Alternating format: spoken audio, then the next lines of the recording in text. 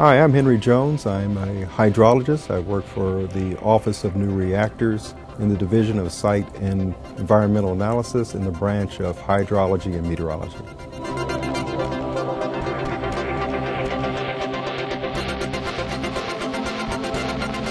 A hydrologist is a scientist that studies water, its distribution, and its impact on the environment and our impact on water.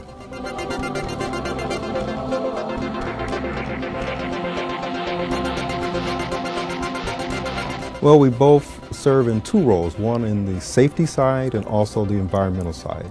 In the safety side, we look at how water will impact our safety structures. What I mean, for example, storm surge and tsunami and local precipitation. Will they flood the plant? Will they scour and dig up power lines or piping?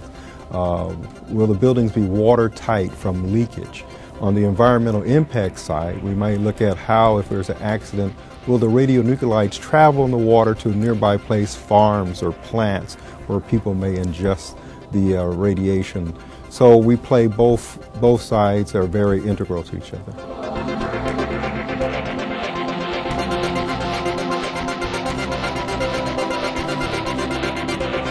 Well, we're critical in that most of your sites depend on water to determine if they have the proper siting.